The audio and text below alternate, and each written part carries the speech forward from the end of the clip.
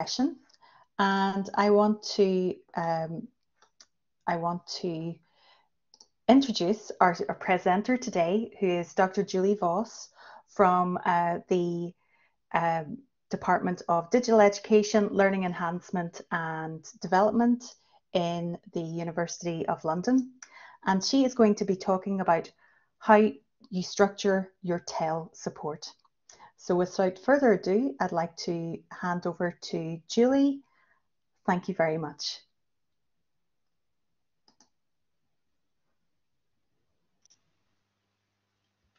Thanks, Emma. Uh, I will just get my slides shared.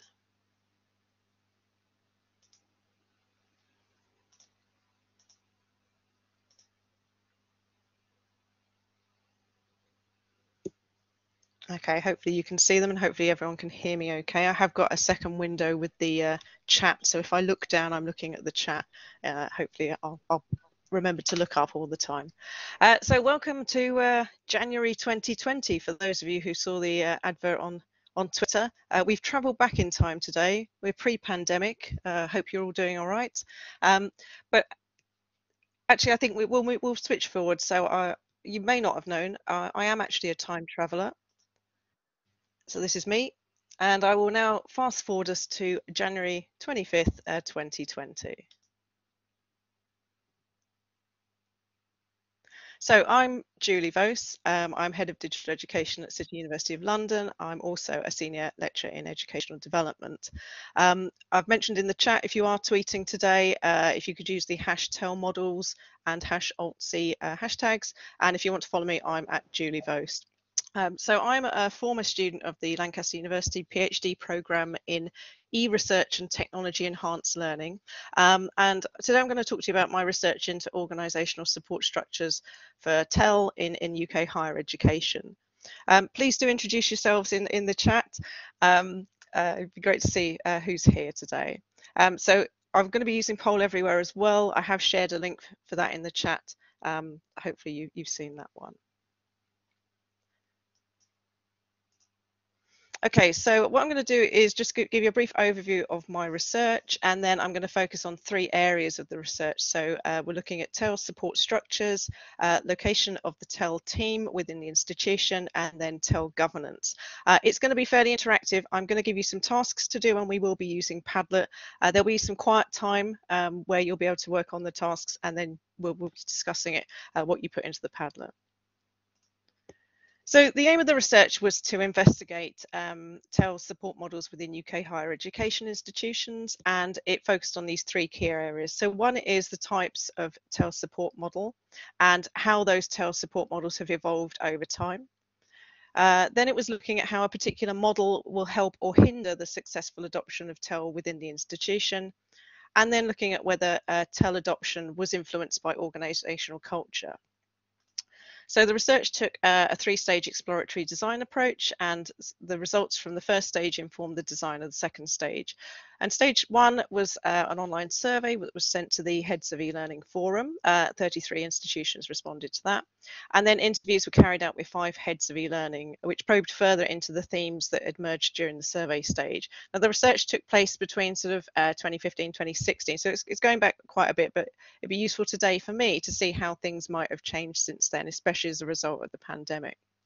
Uh, so following the data analysis, there were several key findings that emerged, and I presented these at one of the winter conferences as part of a tweet chat, and that focused on similar topics to the ones we're looking at today. And then I also did a directed content analysis of the UCISA Technology Enhanced Learning case studies. So these accompany the UCISA TEL survey, which runs every two years. And, and I used these themes to identify similarities and differences between my findings and the case studies.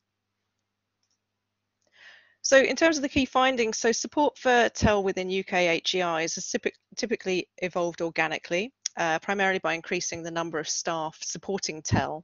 Um, but there were concerns that existing teams were being overloaded as more technologies were taken on. So typically teams started off as a, a VLE team, and then as things like lecture capture, uh, plagiarism detection tools came along, they were expected to take on those tools, but maybe with limited additional resource.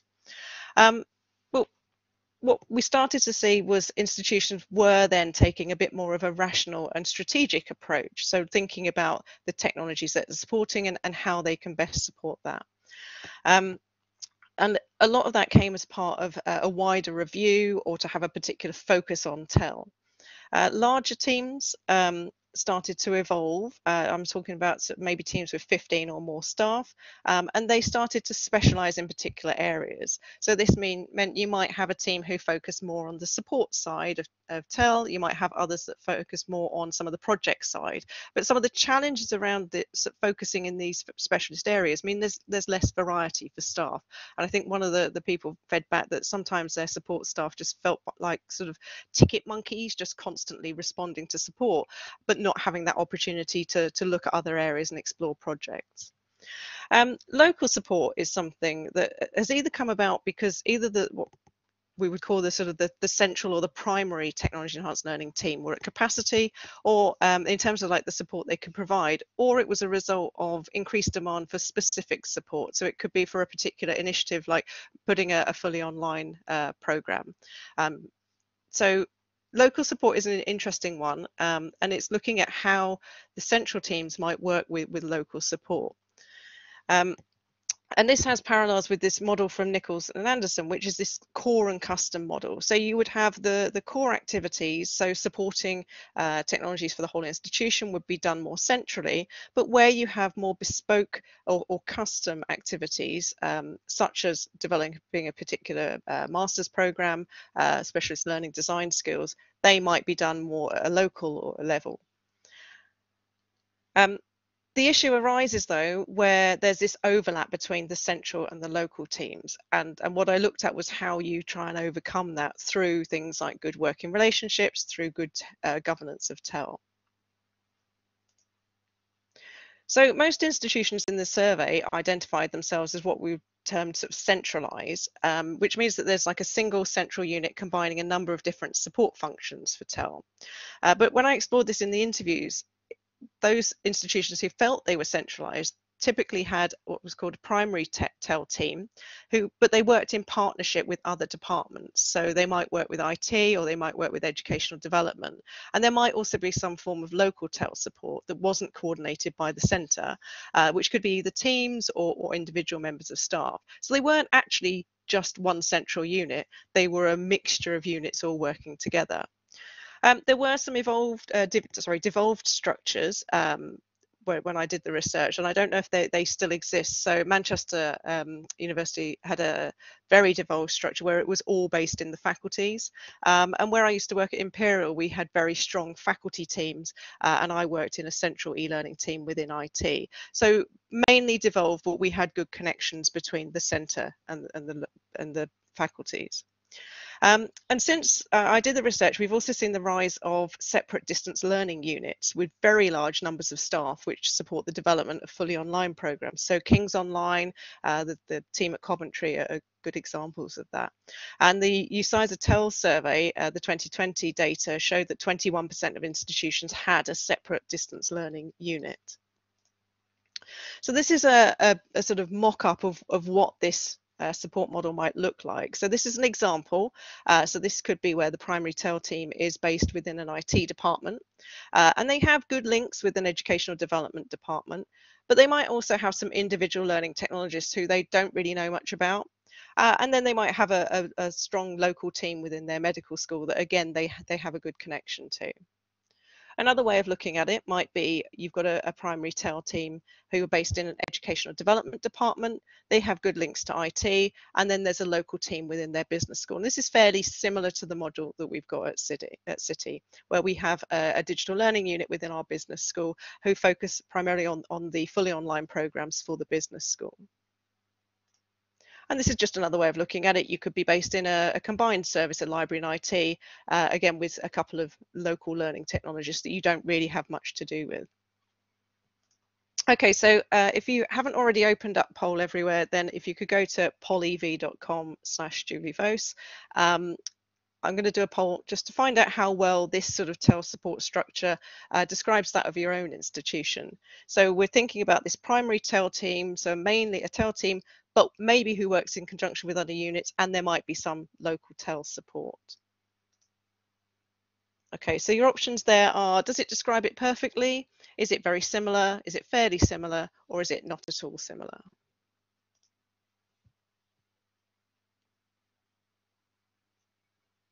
So it's great to see some results coming in.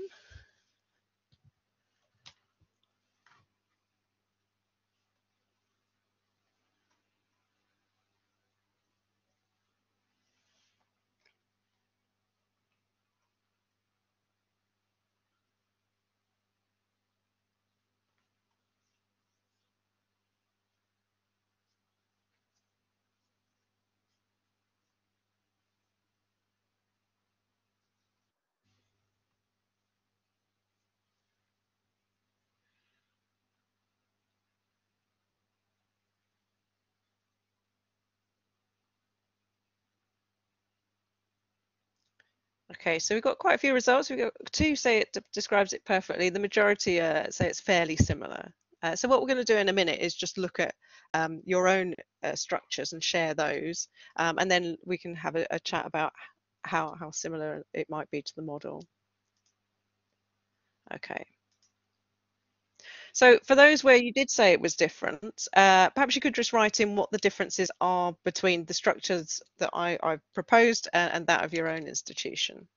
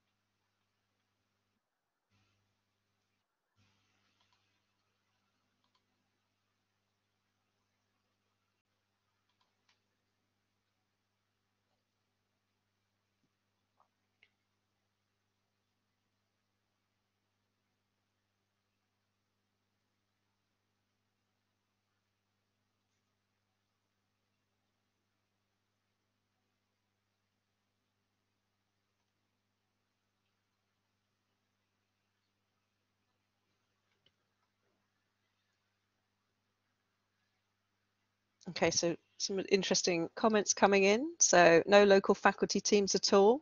That's interesting. No local teams.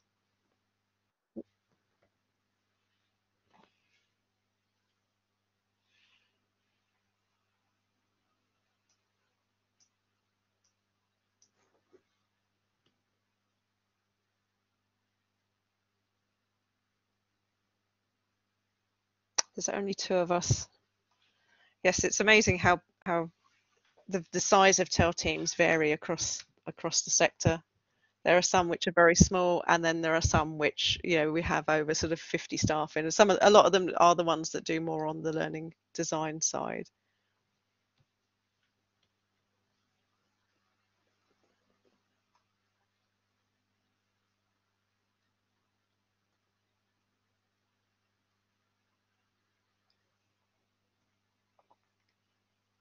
Okay, so thanks for that feedback. What we're going to look at next uh, is asking you to map out your own TEL support structure. Uh, so you can do this on paper or um, you can do it electronically. Um, the idea is to, to pop it into Padlet. If you don't want to draw it, then feel free to just write it write it down. Um, I've got an example here of, of Cities one that I've tried to draw out. So we're based uh, in the digital education team and I've actually split that into three different areas. So we have a school liaison.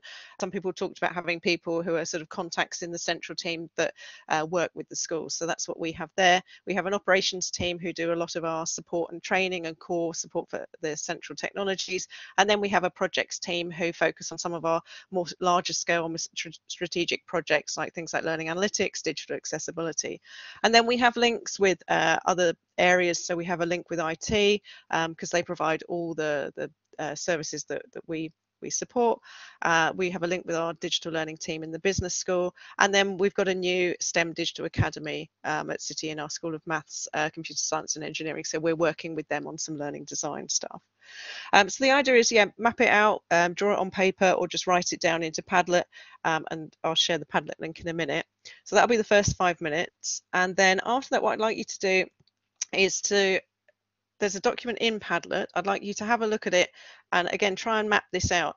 Think about um, the relationships that you have with those other units. Now, if you've only got yourself, then uh, there's probably not much to think about. But yeah, think about um, how you might work with those other units uh, and what is the level of interaction you you currently have with them? So do you see them a lot? Do you is it more infrequent? And what influence do you have over them? So are you in the same sort of organizational structure? Um, do you have a, a, lot of influence because you both report into the same line manager or, or do you have sort of very little influence over them? Um, so this is a really interesting way of thinking about the working relationships that you might have with those other teams and and how you might look at strengthening them. Because you might identify well actually we don't interact with these people and we don't have any influence over them but actually if they're really important in in supporting TEL what is it you need to do to try and increase either one of those? So I'll share the Padlet link in the chat and I'll give you about sort of 10 minutes to to look at that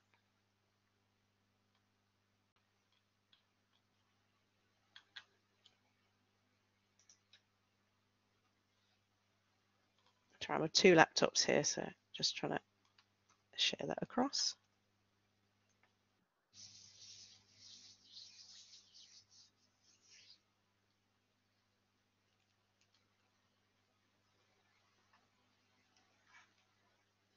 So take your time, put some music on. I'm not going to play any music for you, and uh, neither Emma or I are going to sing. So uh, yeah,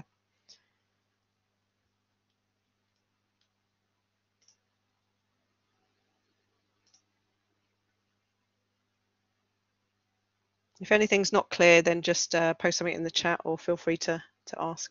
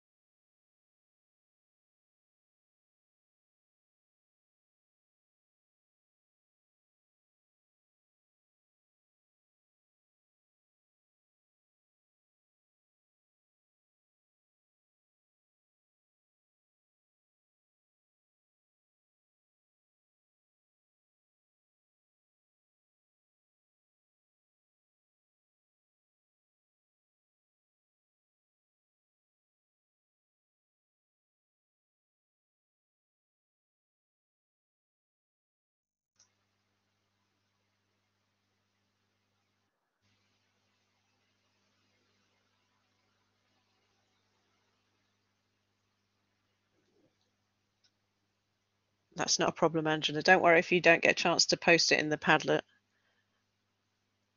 The activity can be quite useful just for yourself to reflect on, you know, who actually supports TEL within your institution and, and how you interact with them.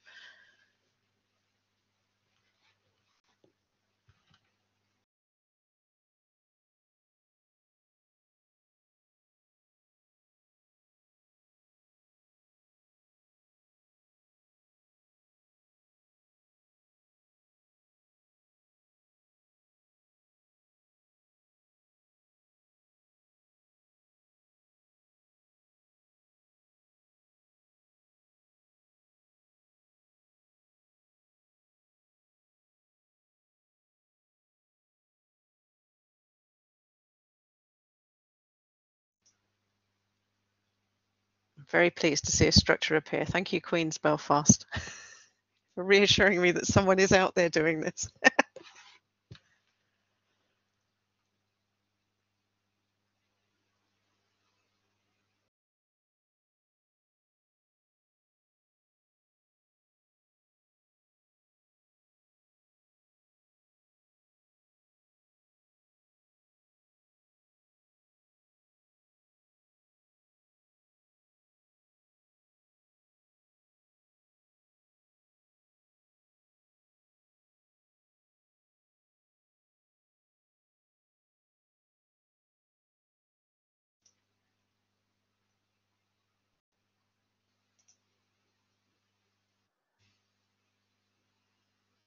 Okay, so you might want to start thinking about your interaction and influence grid if you haven't already started on that one.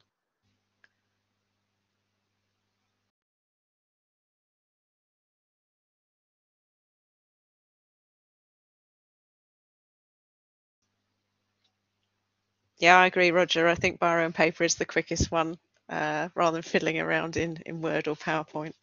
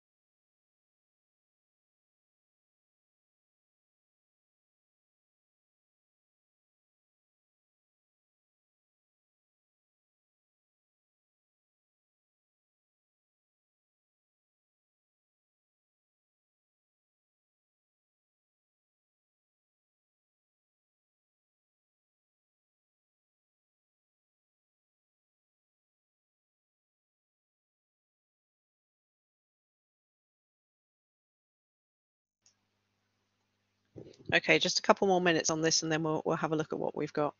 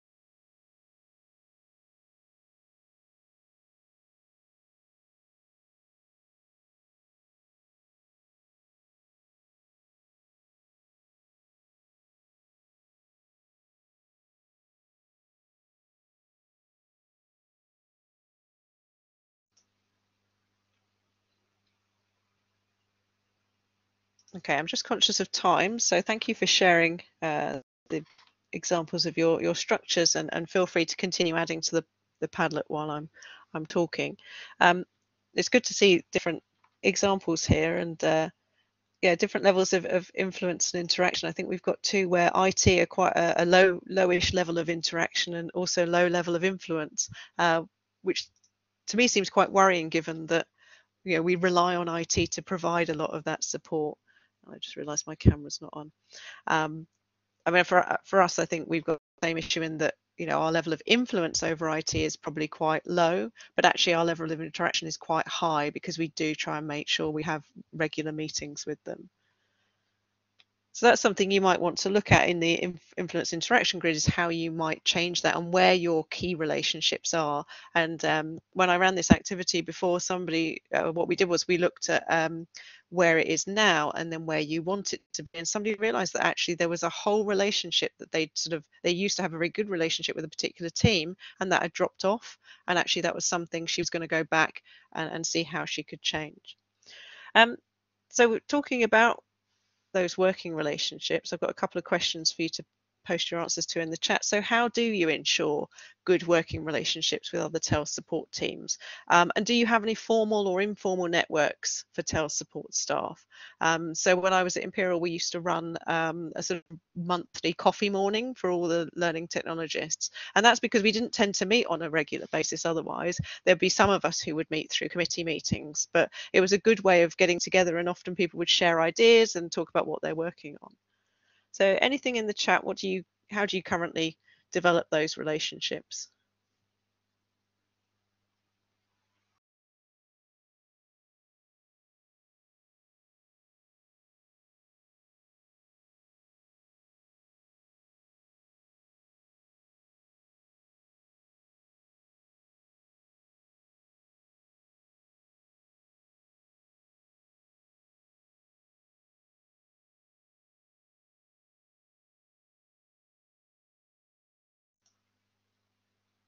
So Tom, you've mentioned bottom-up communities of practice. So at City, we used to have um, different different groups, like an educational multimedia group, and it was yeah a different way of bringing people together on particular topics. Yeah, monthly forums for learning technologists. I think it's tricky when you, you know, it's all easier when you're all in the same team potentially, depending on the size of the team. But when when you're quite distributed across the organisation, I think you do need those those networks to bring people together.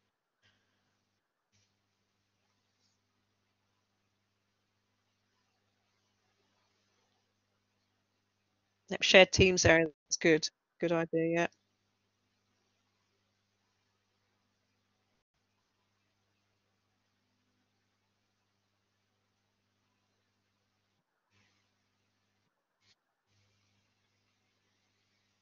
So Natalie mentions a monthly coffee catch up. Yeah, that's what we had at Imperial. Digital champions meetings.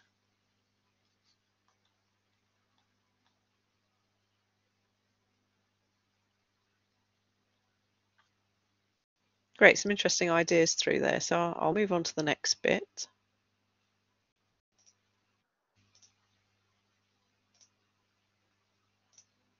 Okay, so the second team was thinking about the location of TELS support.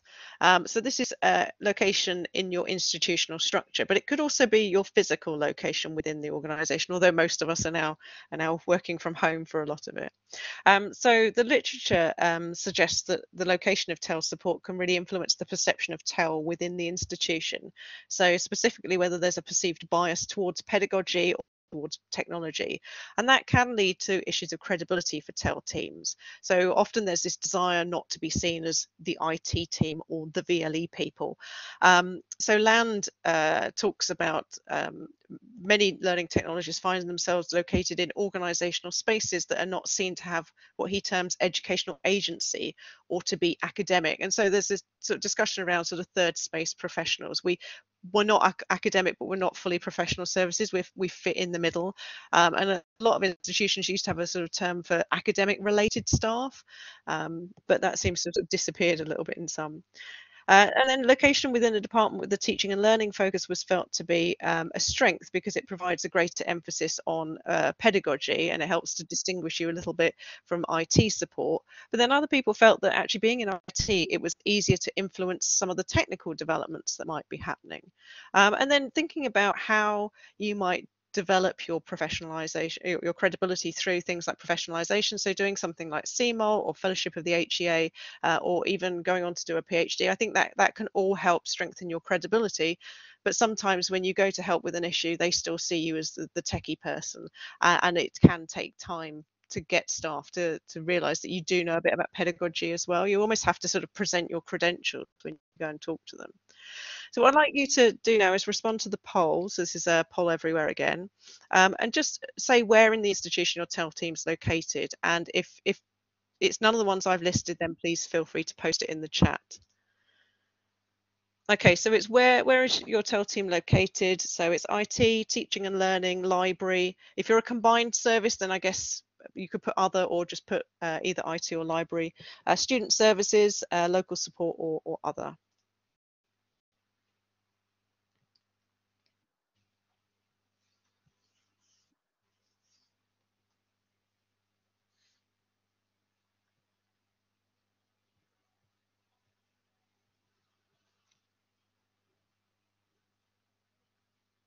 So quite a few other people said other at the moment.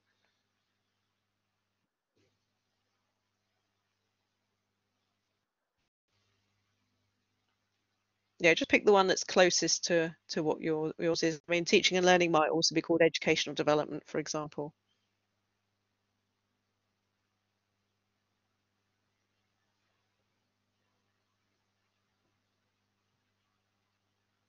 So we've got a few in local support, a few in IT, but the dominant is, is teaching and learning, it seems.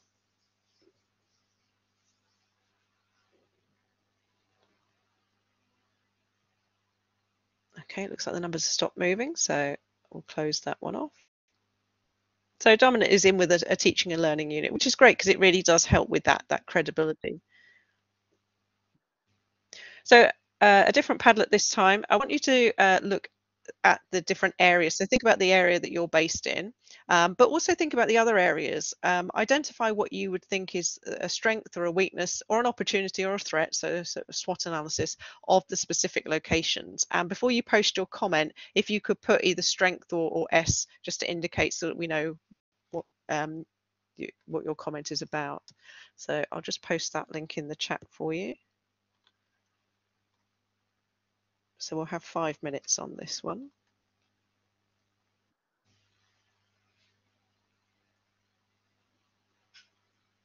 So yeah, comment on the one that you're based in, or, or maybe think about, you know, if you were to be based in an IT unit and you're in teaching and learning, what might be the strengths of being there, uh, what might be the weaknesses of your current area.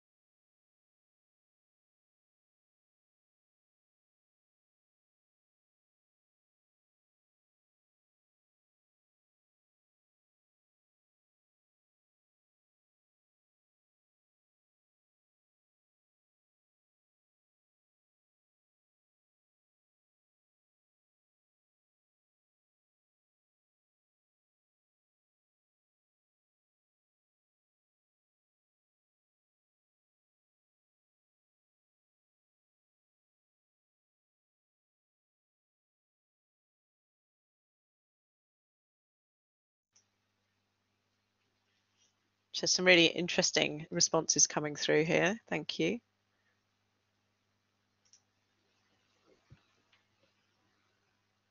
So IT, there's definitely the the worry about being seen as the the techies or people who can fix the printer. But some strengths around having joined up thinking uh, with other aspects of IT, working with colleagues on technical solutions, uh, teaching and learning. Some strengths around sort of teaching and learning aspects being involved in development programs, HA fellowship, uh, some weaknesses about being too strongly associated with pedagogy or theory instead of practical text support.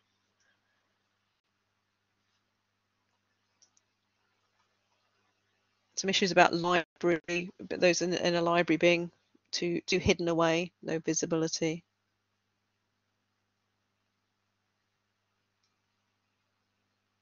For the local support, sort of lack of control over systems and deployment, having to plug holes that the central team should have dealt with. but some really strengths about being able to it's those working relationships isn't it and understanding what they need locally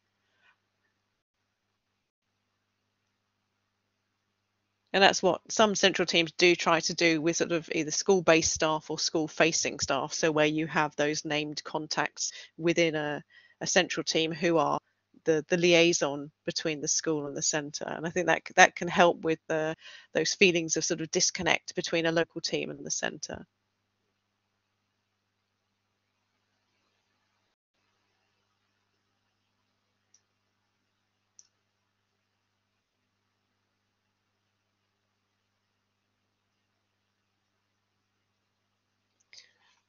So hopefully you've had a chance to look at what some of the other people have, have picked and, and do feel free to keep adding to that. I've got another poll for you now. So thinking about some of the, the comments that people have made um, and thinking about your own uh, area, where in an ideal world would you like your TEL team to be located? Would you pick any of these or, or would you pick some somewhere else?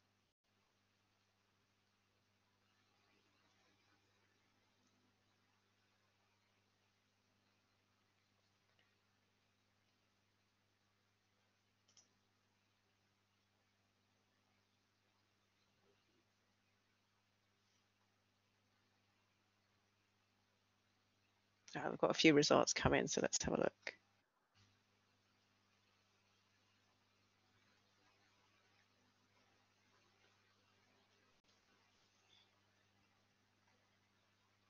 So that's quite a change from the very first question. Uh, so it looks like a lot of people would, would move out of IT and probably towards teaching and learning.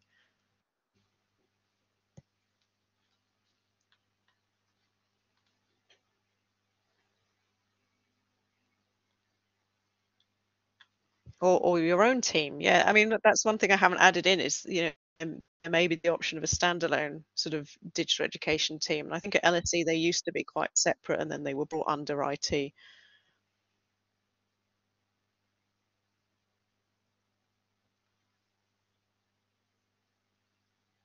Yeah, I think there's the challenge of when you're under a, a, teaching and learning unit or an IT unit, you reflect just that unit, whereas actually we're a bit of both, and it's really tricky to sort of have your own identity out outside of that wider umbrella.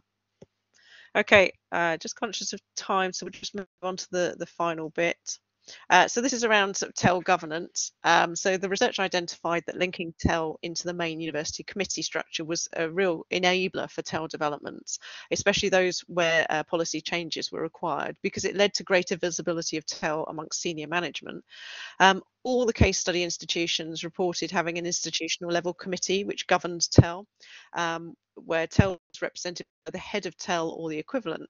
Um, and in addition, where such a committee exists, TEL is typically linked into the university structures as part of a, a three-level structure connecting TEL with the topmost committee, which might be council or senate. So this is an example of this sort of three-level structure. So you might have a lower level committee, um, which would be maybe a TEL or an education focused committee. Then it links into a mid-level one. This could be sort of information services or a learning committee, education committee, and then you would link up into something, uh, and they're, they're all called something different, but you might have an academic board or a senate, for example.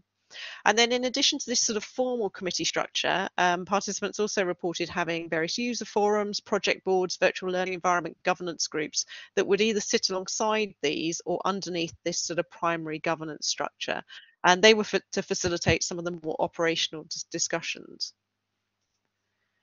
But this isn't necessarily representative across the, the sector. Now, the 2016 uh, UCISA survey asked about governance, and in there, only half of the uh, institutions had an institutional uh, committee governing TEL. Um, so in 2016 20 said they didn't have any TEL committees or working groups and that reduced uh, to 11 in the 2018 survey but obviously the the number of respondents uh, alters and different institutions respond uh, to the survey um, but also 70% of those who did say they had something, they, they said it was their teaching and learning committee that governed TEL, um, along with the presence of other sort of TEL related committees or working groups. So they might have learning spaces group or a electronic management of assessment group, for example. So another poll here. So how well does this sort of three level governance structure describe that in your own institution? So do you have a clear sort of governance structure for TEL? Uh, is it embedded into um, something just like a teaching and learning committee or do you have your own uh, TEL committee? So again, it's does it describe it perfectly? Is it very similar, fairly similar, not at all, or we don't have a committee governing TEL?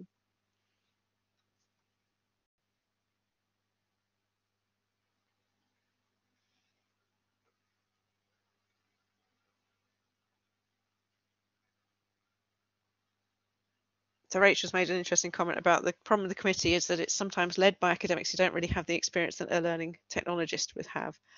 Yeah, I think you do need to have that representation of the learning technologists on these groups. That's that's key. So let's see what people have said. Okay, so fairly similar, but actually quite a few of you don't have a, a committee governing TEL. That's interesting.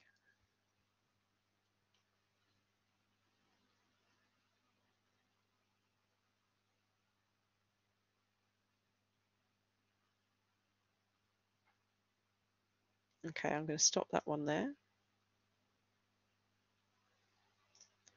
Okay, so this is a, the final Padlet. So if you could just share governance structure again, if you want to draw it and take a photo or, or just type it out. Um, and if you don't have one, maybe just uh, reflect on what you do do in terms of getting uh, new systems approved or policies approved? You know, who do you report into basically? Uh, that would be good to know. And then do you think it's effective um, for enabling TEL within your institution? Is there something that you'd like to improve here for your structure? So I'll just put that link into the chat for you.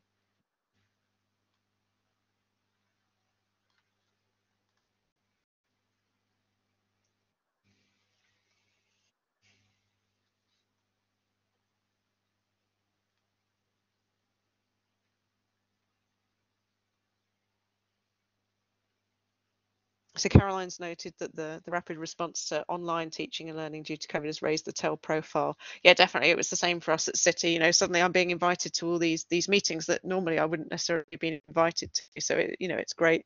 Uh, and I think that comes back to what we were talking about in terms of location. You know, often if you're in a, a bigger unit, it's the director of that unit or the head of that unit.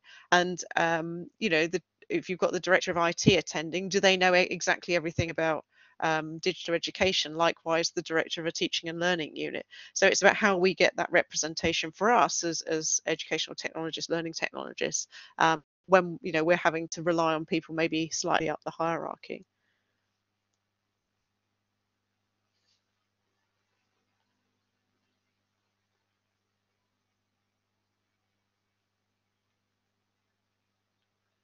Rachel makes a good point about the value of a committee if they have no power to influence actual actual practice. I mean, you could argue that most university committees probably don't influence actual practice, but that's probably another topic of this conversation.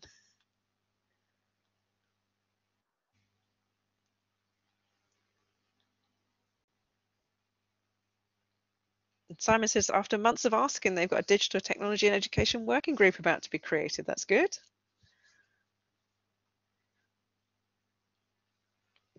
I think one, of the debates uh, people have had in the past, and it's similar to when you have strategies, do you have a separate committee and strategy for, for TEL or digital education, or do you bundle it up into teaching and learning?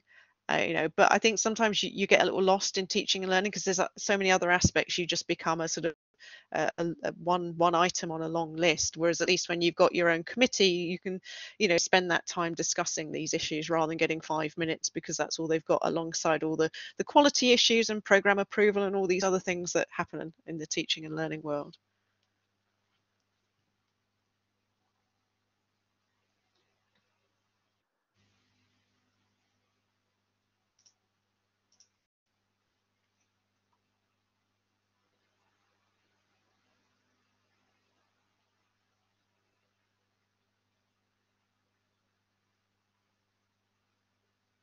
Okay, there's an interesting uh, local perspective around sort of the approval from faculty operational committees, but then if you require more, having to go through central committees. Yes, going through committees takes time, doesn't it? Um, but I think some of the challenges we have in central teams is that things can be approved at a faculty level and therefore they can move a lot more quickly than we can centrally and that's where you get that disconnect between the central teams and the local teams and and some of that sort of frustration that local teams are able to progress things when centrally you you, you can't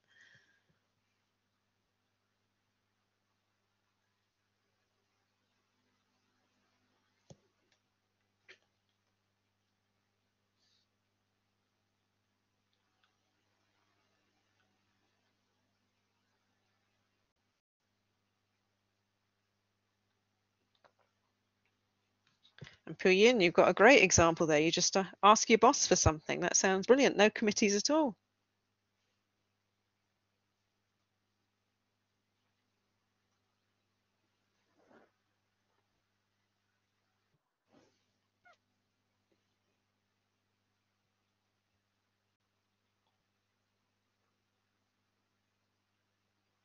Okay, we're almost at time, but again, please feel free to continue adding to the Padlet.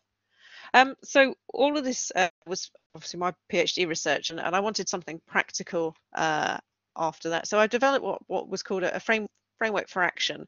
And some of the activities we've done today are part of that framework. So what it does is it takes you through thinking about your TEL support structure like we've done today. So mapping it out, uh, maybe thinking in an ideal world, you know, where it might be, and then thinking about how effective that structure is currently for, for what you're trying to achieve in your institution. Then again, what we've done today is looking at your location within the institution and thinking about how you relate to the other teams that, that support TEL then looking at how you identify and support those local needs. So especially if you're in a central team, what do you do uh, to understand local needs? Do you have school facing or school based staff or do you have good connections with local uh, learning technologists? Do, do, they do a lot of the work? Do you have committees or working groups that you might use? So I think somebody mentioned about digital champions. So there's different ways that you can identify and support those local needs, but it's thinking about what you do and how effective that is. And then thinking about the flexibility of your team. So coming back to the beginning, I talked about how a lot of teams started off as just VLE support, and then you're asked to adapt and adapt and adapt. So, how easy is it for um, your team to adapt to some of these changes? And, and we've probably been all incredibly flexible over COVID. But thinking, you know, moving forward as more and more things move online, you know, how flexible is your team and, and how easy is it to get additional resource without having to go through the five or six committees that were mentioned to, to get pro projects or, or maybe staffing approved. And then as we've just done thinking about your TEL governance, you know, do you do you need to have a committee for TEL? Is that a, a blocker at the moment, not having something where you can discuss these issues? Um, so the framework for change is available for online. So please download download it and have a look. I know uh, um, at least one person in the audience has, has had a go at that and found it useful.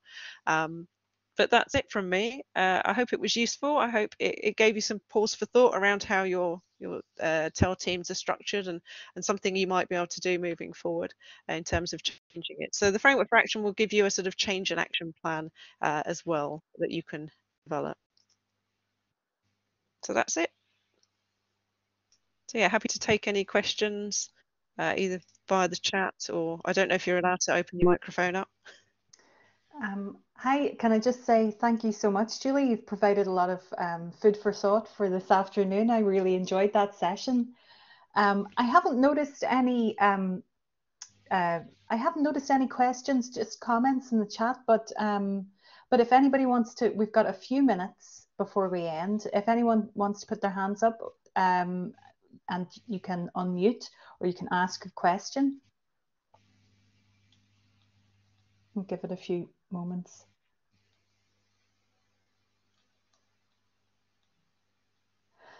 No, it doesn't look like there's any questions at the moment.